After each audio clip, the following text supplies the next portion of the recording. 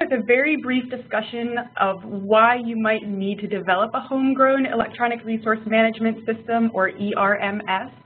Um, and we'll also talk about the ways that some of the database design tools and strategies I'll be talking to you about today can be applied to testing or trialing commercial or open source ERMS systems.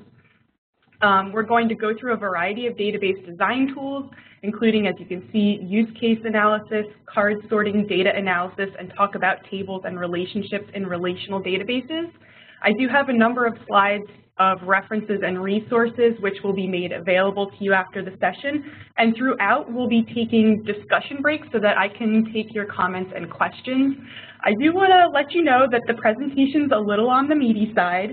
Um, so I recommend, as Esther said, there's going to be a recording made available. The slide deck will be made available to you as a PDF file. So kind of just let it wash over you like a warm summer breeze um, and really spend your energy thinking about how this applies to some of the systems projects or electronic resource management tasks that you're undertaking at your libraries. So to begin, an obligatory disclaimer, I am not a software developer, information architect, or database engineer but I am a librarian, so I like to think that I dabble in all of those areas. And as Esther said at the beginning, I was an electronic resources librarian, both at the paraprofessional and professional level for many years. So I had um, some uh, work to do in all of these areas. Again, why homegrown, as Esther described when I assumed my first role here at Delaware County Community College, this is kind of what my desk environment looked like. I was inheriting information and tasks that had been distributed among a number of different staff people and was trying to organize them all under a newly created position.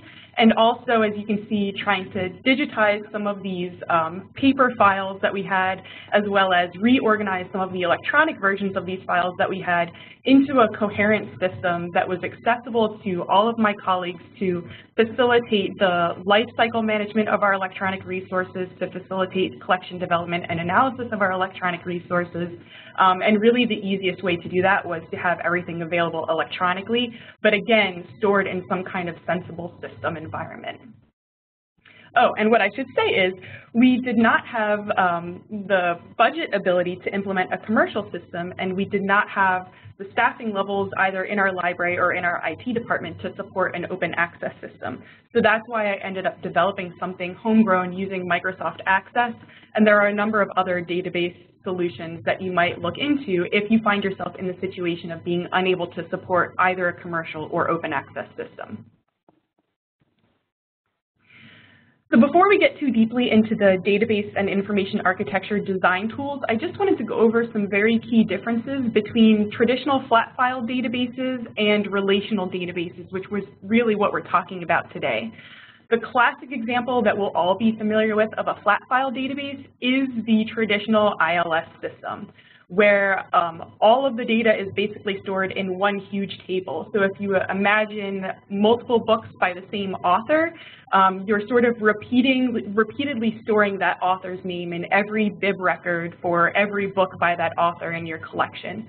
So what you end up with here is redundant data storage, which takes up a lot of server space, obviously, as well as quality control issues. Um, hopefully, subject headings take care of some of those issues, um, but even transcribing a call number from a bib record into an item record can create issues.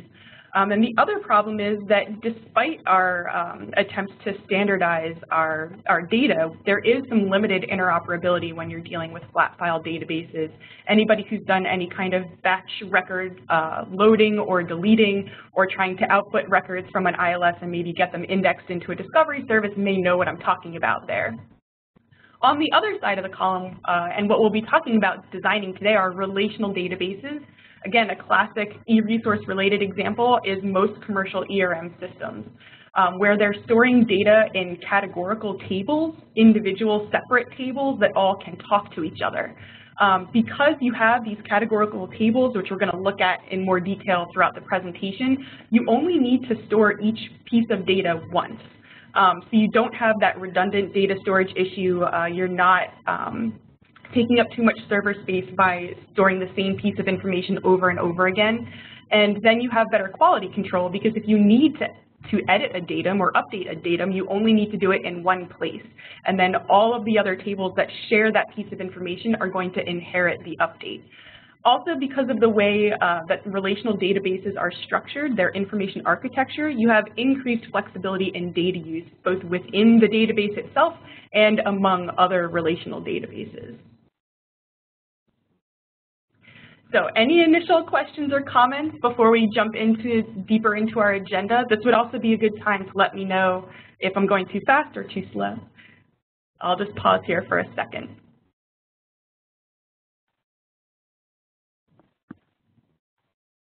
Looks like we're in good shape, so we're going to soldier on. So why bother with database design tools at all? Um, I would argue that there are sort of three principles of good system design uh, that these design tools will help ensure that you accomplish. One is to minimize user effort. If it's too hard to use your system or if you're finding it too difficult to use a commercial or open source system, then chances are your uh, fellow users, your colleagues, are going to find workarounds. So good system design ensures that you're minimizing user effort, which increases the likelihood of system adoption. You're also going to minimize user error. So again, thinking back to the differences between flat file databases and relational databases, if you store a piece of information in one place and only have one place to think about updating it, that's going to minimize user error compared to thinking about storing that same piece of information in a variety of records where you have to remember all of the places within your flat file database that you would have to correct or update that information. So good system design, again, ensures that you're minimizing the possibility or potential for user error. And finally, because you're minimizing effort, you're minimizing errors, you're going to be maximizing user output, which gives you happy users, uh, the kind of users who might put their feet up on their desk at work because they're so content to use your well-designed system. Again, these are sort of my philosophies based on that master's coursework that Esther described as well as some work experience, but recall my disclaimers, I'm not necessarily a professional in that field. So let's take a slightly deeper look at the specific design tools we're going to be using today. They all answer different questions with respect to either system design or your ability to sort of kick the tires of a commercial or open source system. We're going to start off looking at use case analysis, which addresses the question, what do users need to accomplish with the system? What are users' goals when they're actually interacting with the system? And obviously that informs uh, what your system has to do, which informs its architecture and design. We'll then look at card sorting. So this uh, technique addresses the question of how users expect data to be stored or structured within your system. If you think about a menu or a website's navigation menu, uh, card sorting helps you answer where your users will expect to look for certain features. They probably expect your phone number and address to be in an About section or in a Contact Us page, um, and those are the kinds of uh, information about your users that card sorting would uncover.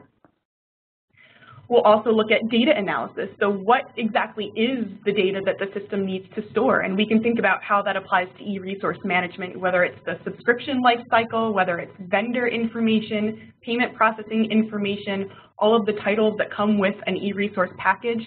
Those are all the kinds of things that you want to be considering when you're going through data analysis to design or maybe evaluate a commercial or open source system. Again, we'll take a more specific look at tables and relationships with respect to data storage and information architecture in relational databases. And then I'll give you sort of a brief preview of how I used forms in Microsoft Access to make the ERM system that I designed slightly more user-friendly for my colleagues. So use case analysis, and you can maybe see a slight example of this on your screen now, is really just a step-by-step -step narrative describing users' interactions with the system. Again, the purpose is to ask, what are our users' goals for interacting or using our system? It's very important to note that this uh, use case analysis process is always from the user's perspective. So if you can read the examples on the use case analysis form in front of you, you'll see that the normal course of action starts with requesting a lawn chemical from the chemical supply warehouse. So that's the user's goal when they interact with this specific component of the system. Um, that's plain text, you know, normal language. It doesn't take any kind of specialized degree or work experience to understand what's going on there, and that's the idea.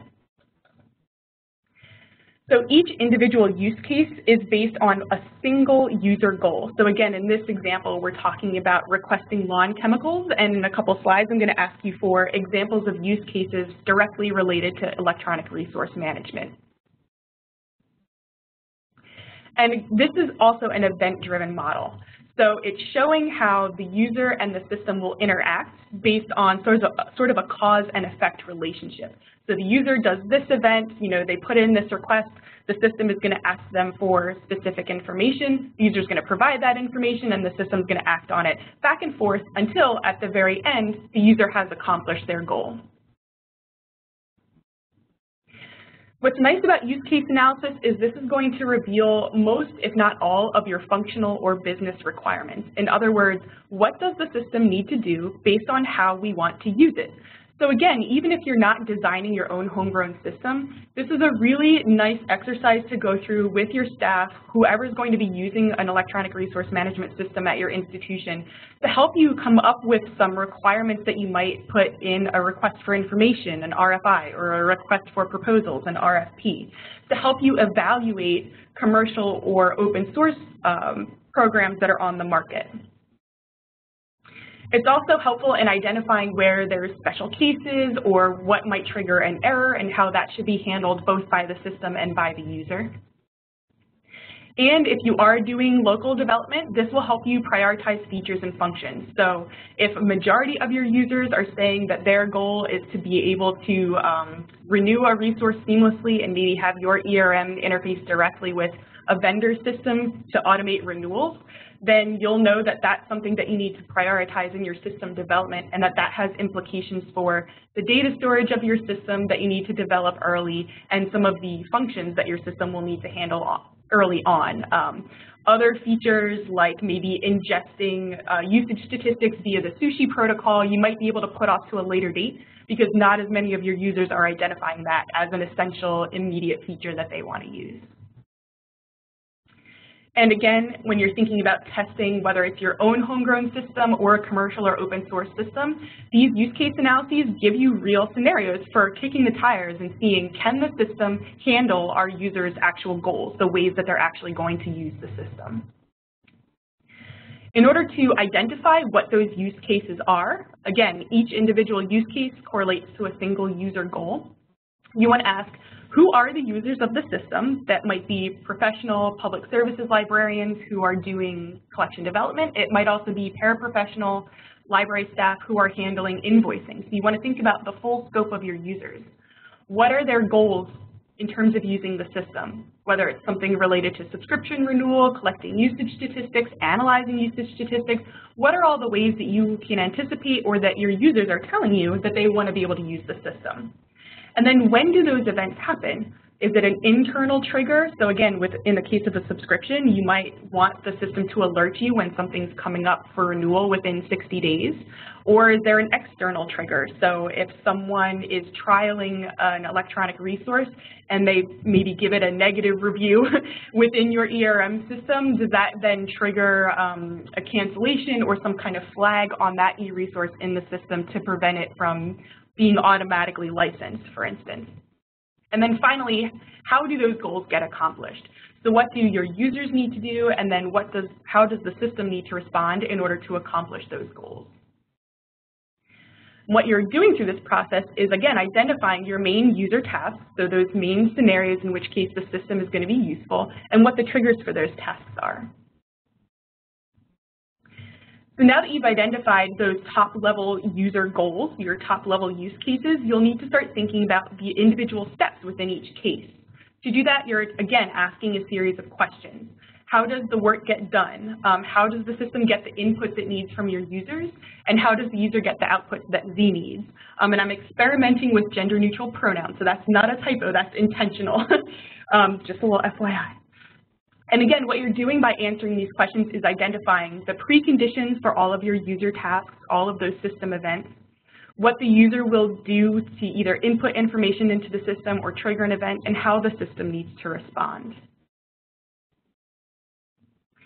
Once you've written your use cases and have listed all those steps, uh, as in the example that you see before you, now you're going to want to validate it and make sure that it's accurate and comprehensive and that you've identified um, any potential, again, exceptions to the use case or error-generating scenarios. So those are the kinds of questions that you're going to ask. And ultimately, by following these steps, is your user able to meet their goal? Some techniques for accomplishing the validation of use cases include role-playing, presenting the use case to focus groups, doing interviews with all those different staff users that you can imagine interacting with your ERM system, and just hosting workshops. So um, get everybody lined up in a row who participates in a particular workflow with respect to e-resources management and kind of have them a little role play um, their particular task and uh, work through the scenario of the use case and see if the system is really supporting their ultimate goal and all the tasks that they need to accomplish on their way to achieving that goal. So as I said, I'm going to turn it over to our attendees at this point and ask, um, what are some examples of use cases in electronic resources management? What are some goals that librarians and library staff have when they're trying to manage the full life cycle of electronic resources?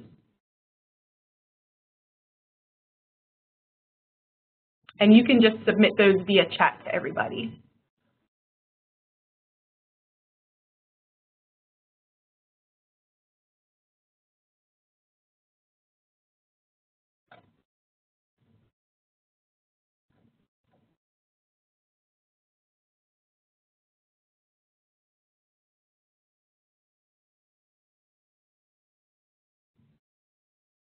Exactly, Karen. So managing those due dates, probably getting some kind of alert when things are coming up for renewal, and also managing usage statistics. Exactly. Renewals always, um, I remember things slipping through the cracks and how upset that would make our users, our, our patron users, exactly. So managing and staying on top of renewals is a very popular user task um, that you could imagine that you'd want to prioritize with respect to either designing a system or testing a potential commercial or open source system. Um, and Karen also mentioned managing usage statistics. Updating information when the platform changes. So Susan, I'm curious whether you mean updating information um, that's patron-facing, so maybe updating URLs or updating metadata coverage information, or do you mean on the back end when the platform changes, so librarian-facing information, or maybe both? But exactly, you need some kind of trigger to remind your library staff and librarians URLs in the catalog and many other places, yes. So some way to keep track of all those many places because we're working with often flat file systems that um, we need to update those individual pieces of information as things evolve, as publishers or vendors buy and sell their electronic resources back and forth, et cetera.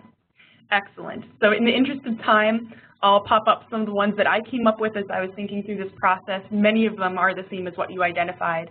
So initiating a new subscription, um, reporting or tracking access problems, one of the things um, that I've been very interested in as an e-resource librarian is what's the response time among vendors and does that help us make collection development decisions if we can get comparable content from different vendors? Generating reports based on use statistics, like Karen said, including things like cost per use, Renewing was something that many people identified, and again, collecting and recording those usage statistics. All examples of user goals and ways that a user would expect to be able to use an ERMS. So unless there are any other questions or comments with respect to use case analysis, we'll move on and talk about card sorting. I'll just pause for a second.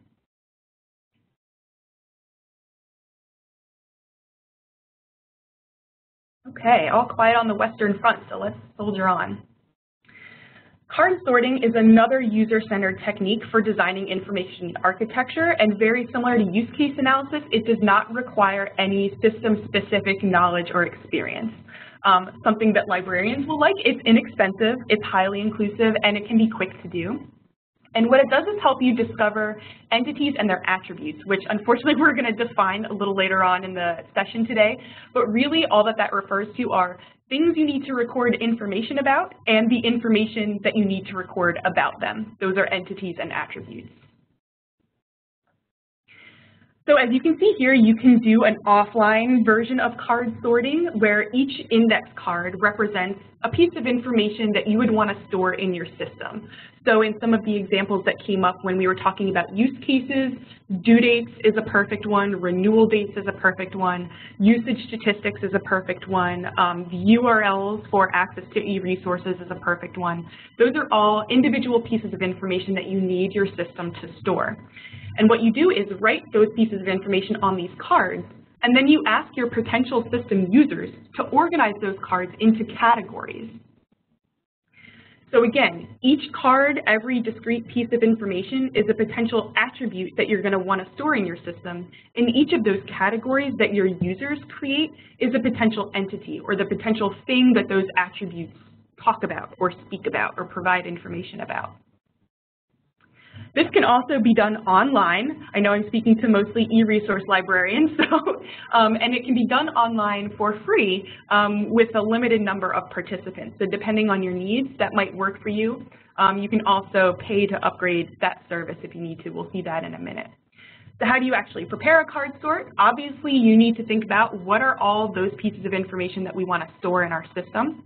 You need to think about who's going to be using our eventual ERMS and those are going to be the people that you want to participate in your card sort.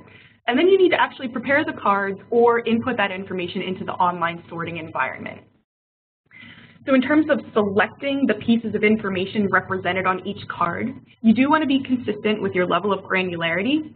And where you can find that information is to do some document analysis. So think back to that early slide where I asked why homegrown, and it was because I had information in Excel files, information in Word documents, information that had been printed out, information in PDFs of license files, information in paper files, etc. Going through all those pieces of documentation is referred to as document analysis, a fancy terminology from system design. Um, and really what you're doing is combing through and seeing what kinds of information do we collect and use about our e-resources. And you already identified a number of those. Um, and similarly, if you've already done use case analysis, you'll know the pieces of information that the system requires that either the users are going to input or that the system might already have, like a system clock, a system calendar, etc um, to identify, again, additional pieces of information that you want to include in your card sort. In terms of selecting participants, again, you can run the card sort with individuals or in a group, and really your question there is who will use your system? Similar to the question you asked in terms of identifying use case um, analyses. Who will actually use your system, and how do we get them to be as involved as possible in its design to ensure that they are adopting it, to ensure that it's meeting their, helping them meet their goals to ensure that it's easy to use. Remember that slide with the guy with his feet up on the desk? That's the sort of photo representation of the happy user. If you're preparing a, a, hard copy card sort, then you're going to label each card with that discrete piece of information. So you might say something like renewal date. And if necessary, on the flip side of the card, you can provide a brief description, but the idea is to be as self-explanatory and transparent as possible. And since you're working in your professional community of colleagues, you're probably all using the same language and terminology to describe the pieces of information that you manage about your e-resources. And just a rule of thumb from the literature, anywhere from 30 to 100 items works very well in terms of validating the card sort fewer than 30, um, it's just really not very meaningful results and maybe a waste of people's time. Um, more than 100, uh, you may not identify consistent patterns of categorization and it may just be so overwhelming to your participants that again, they don't want to participate. So shoot for somewhere in that range. How do you execute or actually run a card sort? You want to randomize your cards because you do not want to influence your users to categorize them in any specific way. The idea is for that categorization or that information architecture to emerge from the ways that your users really think about these pieces of information. You're going to introduce the purpose of the activity. So say we're using this to see whether the design of a commercial or open source system is going to make sense for us or to suggest an information architecture and design for a homegrown system. And you want to provide those basic instructions of we're getting, giving you the raw pieces of data. You tell us how you would expect them to be categorized and uh, placed together within the system. You want to answer some basic procedural questions from your participants, but you want to, again, avoid leading them, uh, let them draw their own conclusions as to how things should be sorted, and then you just need a mechanism for recording the results. So whether you collect all the cards and keep them in the stacks that your users provided them in, or in an online environment, there are some reports that you can run to get the results of your sort. In terms of analysis, um, specifically in hard copy, you're basically looking for broad trends. So did the majority of your participants kind of group and categorize certain pieces of information together consistently? If you're doing it online or if you want to um, transcribe your results into a, some kind of online analysis environment, then you can use cluster analysis software to do that same work for you. So again, that's just looking at um, what percentage of the time certain pieces of information were clustered together in specific categories. In terms of an online card sort, um, at the time that I used this, the platform was called websort.net. It's since changed names to optimalworkshops.com, um, but I believe that the interface is pretty much the same, and I did double check. They still allow you to do a free study for up to 10 participants with a maximum of 30 cards. So again, that hits that sort of um, low-end threshold for usefulness. And if 10 participants covers uh, the full spectrum of your user group, then that might work for you. Um, as I mentioned, you can also pay to upgrade um, this particular sort service so that you can use unlimited number of participants and unlimited number of cards. So I'm not particularly shilling for this company, it's just the one that I've experienced um, and that I have some familiarity with. Again, in terms of your analysis, um, as of when it was websort.net, I'm not sure now that it's optimalworkshop.com, um, you could run some analysis to look at categories and how often items were placed into them, and then you could export that to Excel. So in the instance that you're seeing on your screen, I was the only participant, so it was sort of a way to summarize for myself where I thought each of those pieces of information should go, how I thought they should be organized in the ERM system. Obviously, if you have more users and they have the ability to create their own categories, what you're going to have to do is you can still run an analysis on the computer, but then you might have to do some higher level analysis as a human to look and see um, sort of what categories are similar amongst your user groups. They may just have been named something slightly different.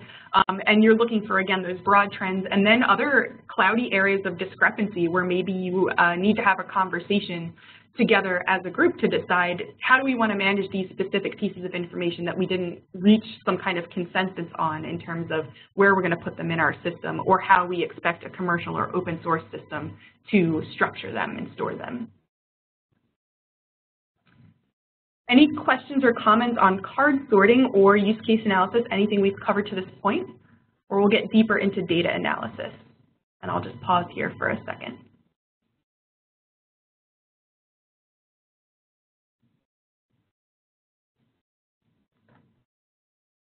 All right, moving on. So can you provide the URL for the company change? Yes. Let me quickly pull that up. One second here. Optimal workshop. Sorry, I'm just uh, Googling them so I can stick that in the chat for you.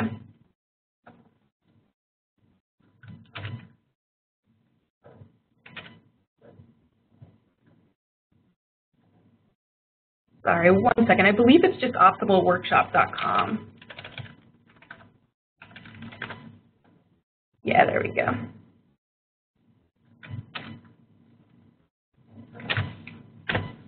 Okay, you should have that link now. Thanks for that question. So we're moving past our um, use case analysis and card sorting. We've um, identified some pieces of data that we need to store in our system. We've identified the ways that our users expect to be able to manipulate that data within our system. Now let's get a little bit deeper into our information architecture and what our system needs to look like on the back end.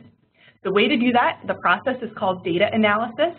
And with relational databases, you're typically using an entity relationship diagram, or ERD, which again you see an example on the screen in front of you. So what an ERD, Entity Relationship Diagram, accomplishes is to visually display the types of information you need to store in your system and how they're organized and related to each other. And one thing I'm going to continue to emphasize throughout the session is we're still looking at the system from the user's perspective. So um, they'll need a little bit of orientation to what they're seeing in an ERD, but once they get the hang of it, again, this is all basic business logic. This is all um, sort of the um, names of the types of information that you already identified that you need to interact with and store in your ERM system. So uh, once they have an orientation to an ERD, your users will know exactly um, what it's um, displaying. So an ERD has some components that we've already touched on a little bit, but now we'll define them better. The first component, the big boxes, represent entities.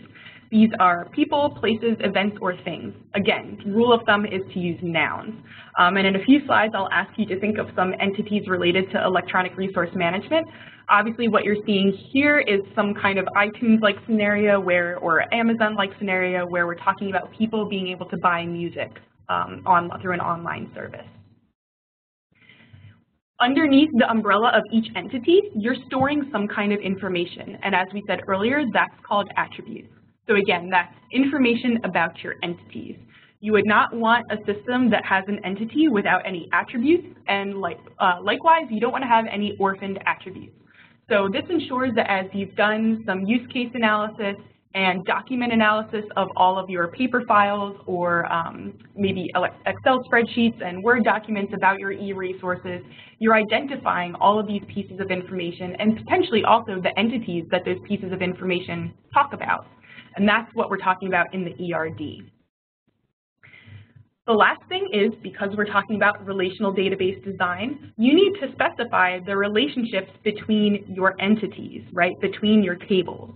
And those relationships are described using verbs. So in the case that you see in front of you, a sale, um, or I'm sorry, a customer makes a sale. A sale is made by a customer. And we'll talk about the fact that in that relationship, the customer is the uh, parent entity, so the customer entity has to exist first before it can make a sale, which is the child entity. Um, and that has some implications for the inheritance of specific pieces of information, so sharing of information within the system.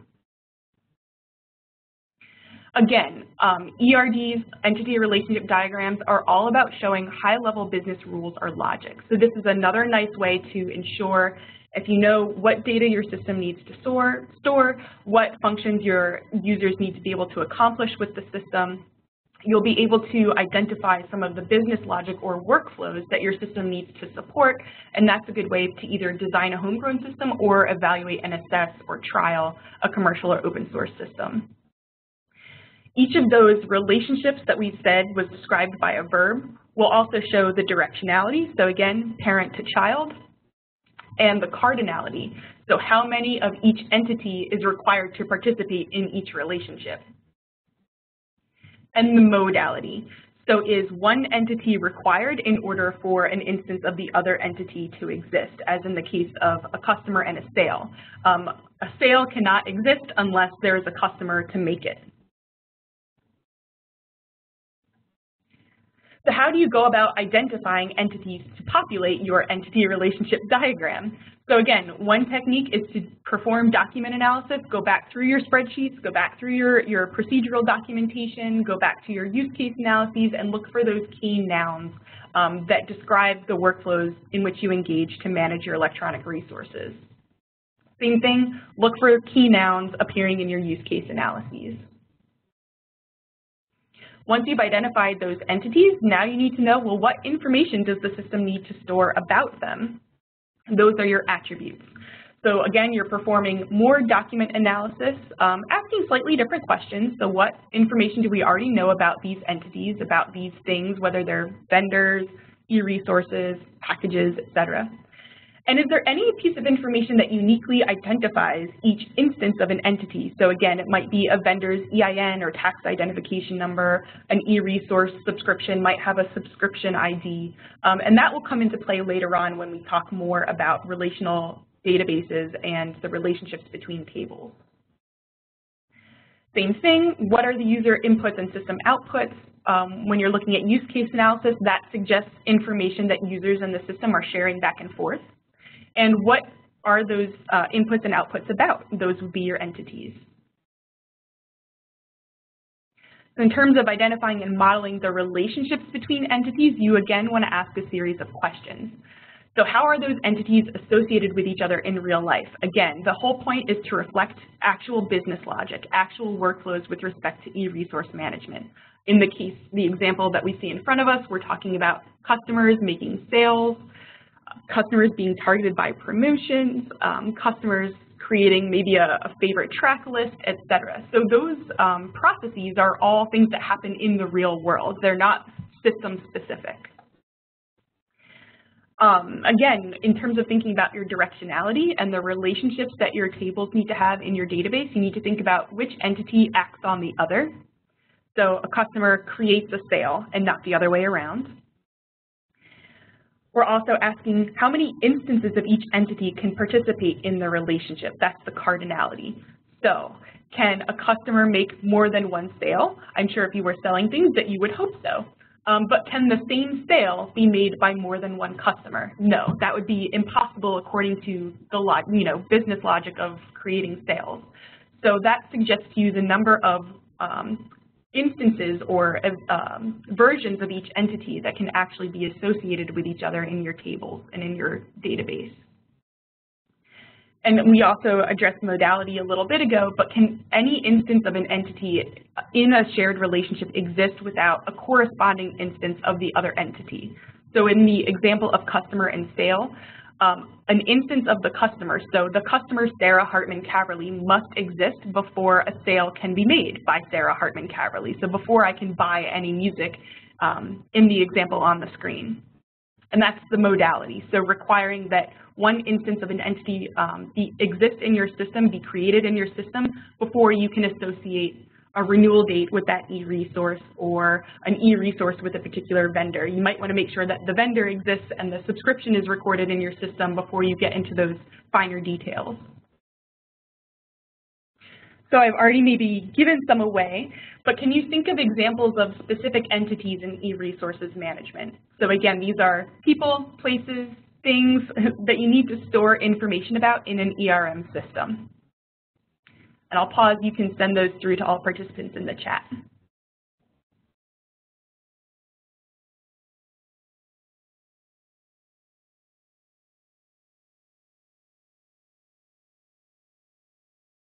Exactly, Karen. So we certainly need information about our vendors, um, and same thing with license types. I wonder if you'd be more descriptive for us with that, but one thing I'd imagine would be the difference between something that's subscribed and needs to be renewed versus something that's owned in perpetuity. Um, I know one of the things we were very interested in doing here, which I didn't quite accomplish before I changed roles, was um, having a flag in our local ERM system for whether a license allowed content from the subscription to be shared via interlibrary loan. Okay, thanks for that clarification. Exactly. Site license, single user license, or branch licenses. I'll pause and see if anybody else wants to throw any ideas out there, and then I'll reveal some of the other ones that I came up with.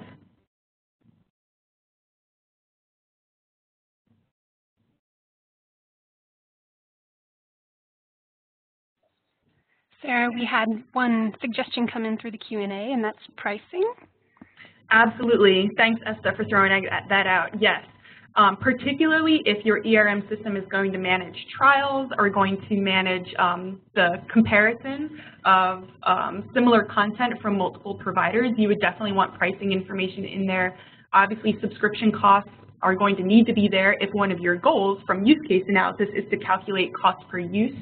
Um, same thing to monitor cost increases year over year. If you've got a trigger like anything that increases more than 5% needs to go through a particular review process before it's automatically renewed, for instance. Um, and Susan is giving us some additional examples. Your subscriber agent, information about them, absolutely. The publisher, the platform provider, maybe their URL, their admin interface, um, exactly. All are excellent examples of things that you need to collect and store information about in your ERM system. Um, so some of the ones that I have here are things that you already mentioned. Um, in fact, I don't think there's anything new in there that we didn't already talk about, so moving right along. So unless there are any other questions or comments about anything we've covered so far, data analysis, card sorting, or use case analysis, we're going to take a closer look at tables and relationships in relational databases, so kind of um, putting it all together at this point. I'll just pause in case there are questions or comments.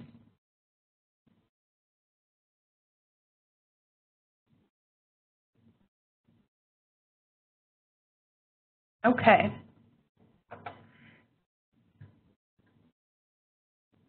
So what is the point of all this? so as we mentioned at the very outset when we were comparing flat file database architecture and structure to relational database architecture and structure, one of the things that you want to do is store each piece of information only once.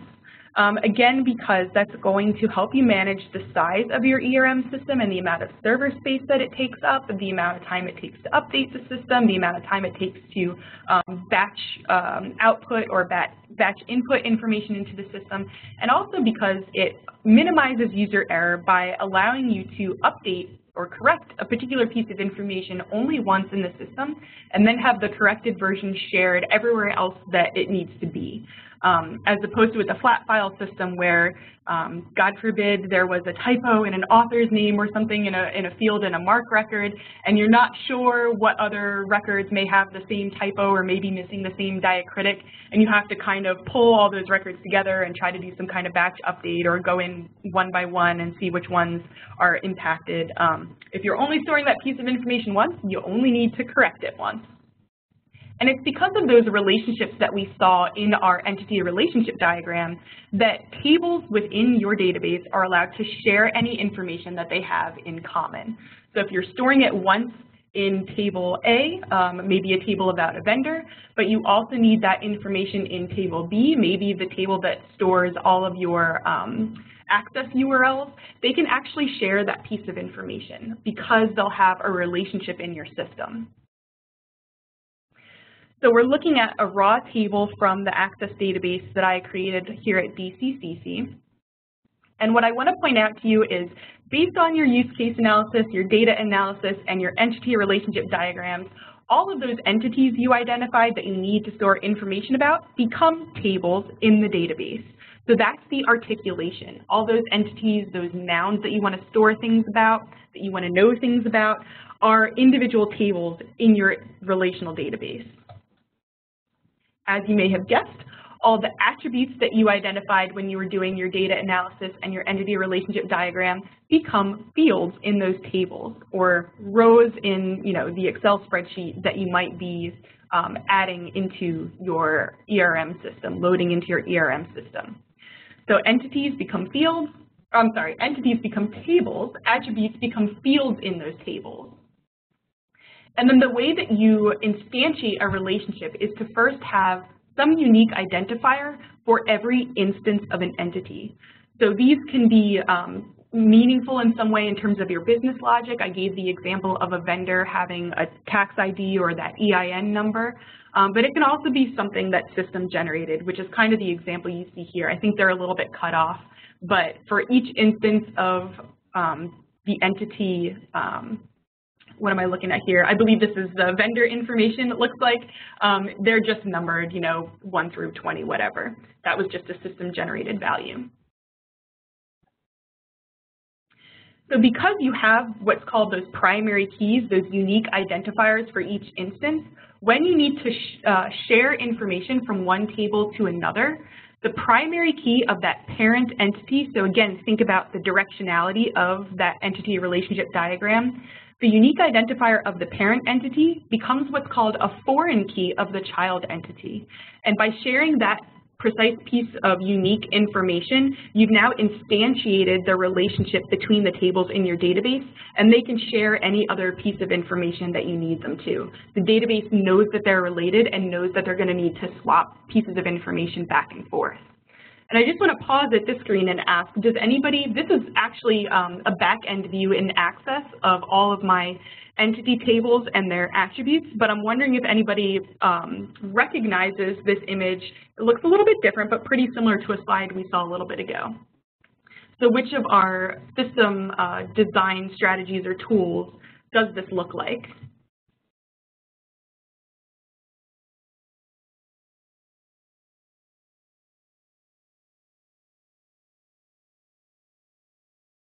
I'll just pause to see, maybe we've got some people thinking back a couple slides.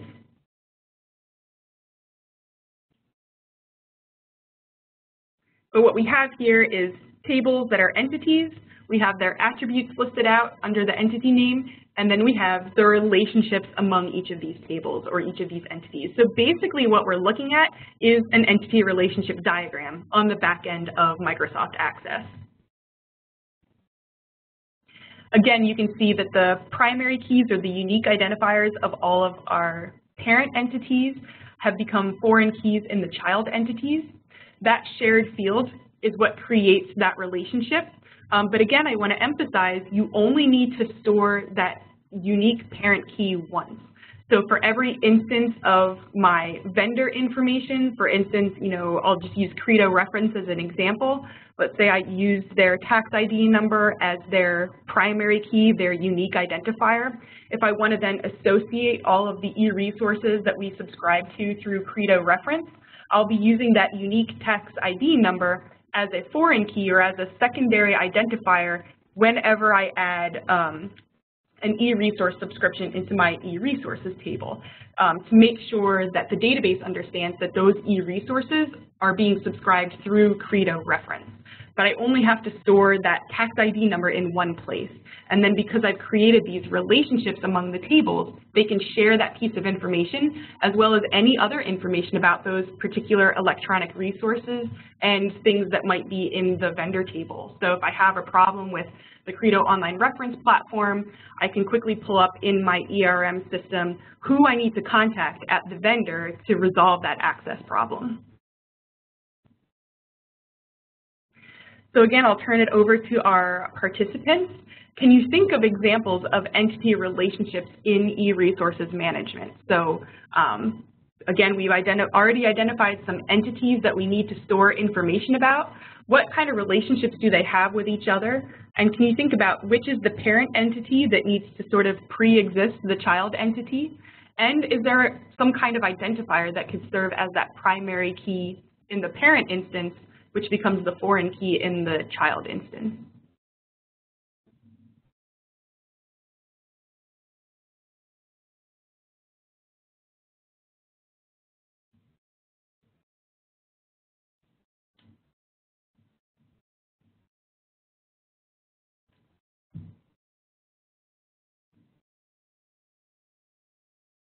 Exactly, Susan. So if you are going to keep customer service information in a separate table from your vendor information, then you need um, to instantiate that relationship. Exactly. I imagine that your vendor is going to be your parent entity and the customer service contact table is going to be your child entity. Okay, thanks, exactly. Um, and a shortened version of the vendor name, as long as it's unique from all those other vendor name abbreviations, would be a perfect identifier. Thanks, so that's a great example. And again, these are all going to reflect your own local workflows and business logic, so they might be slightly different. Um, and this can be a useful ex um, exercise to go through, again, not just for developing a local system, but for evaluating the usefulness of a commercial or open source system.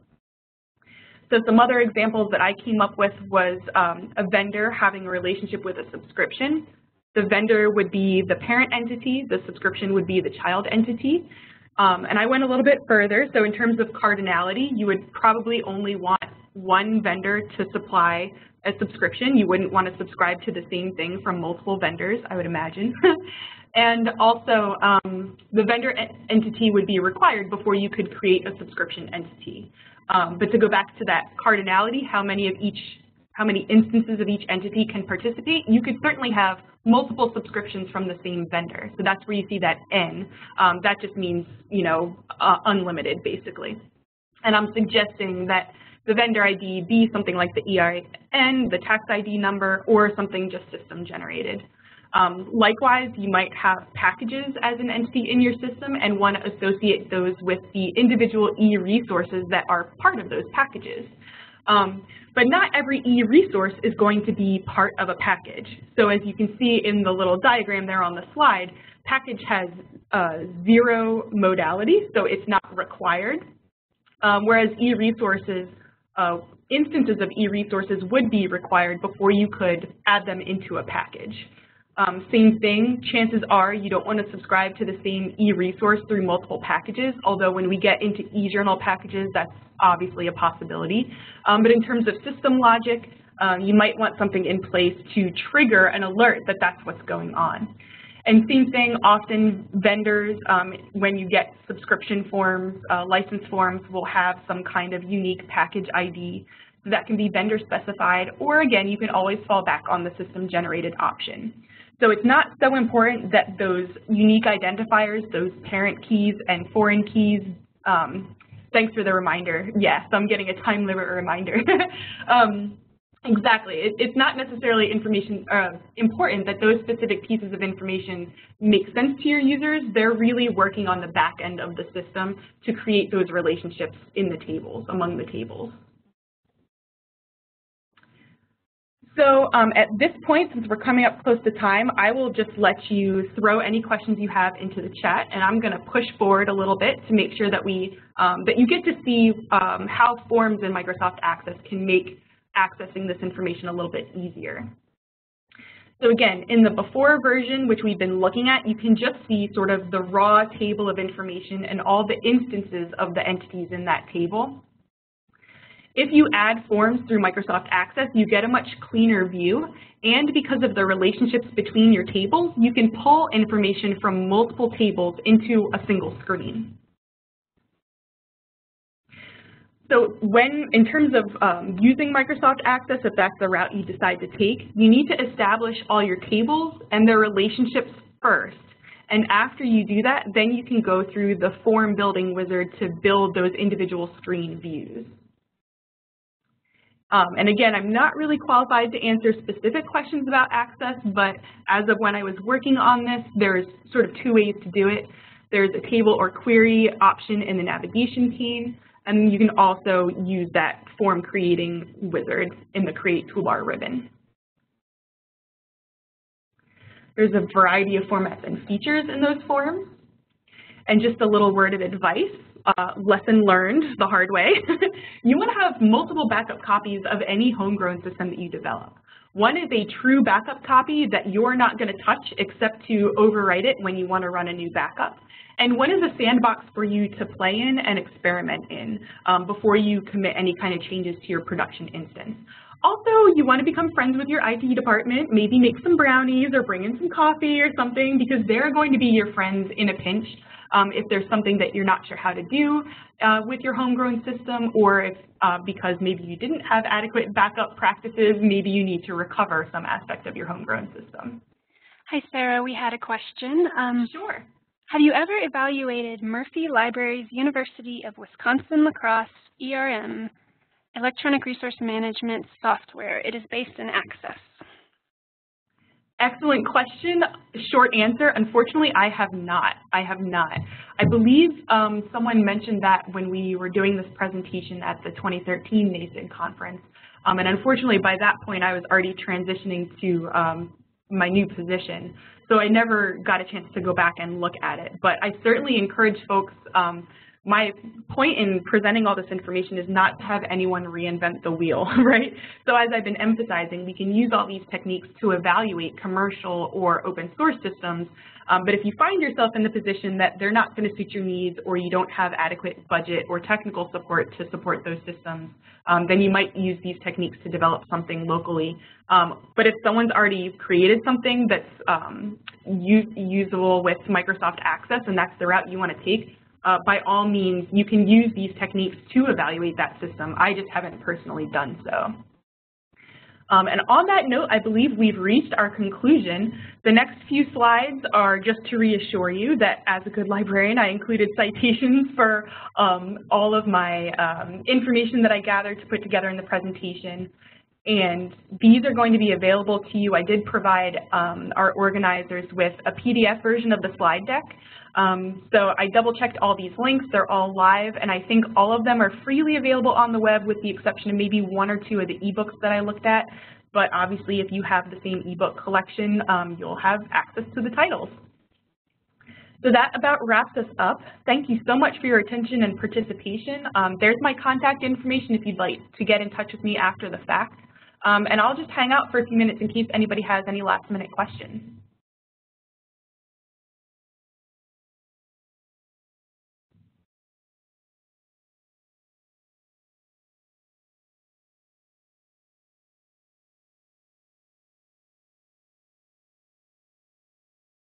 It was my pleasure, Karen. Thank you for coming and participating.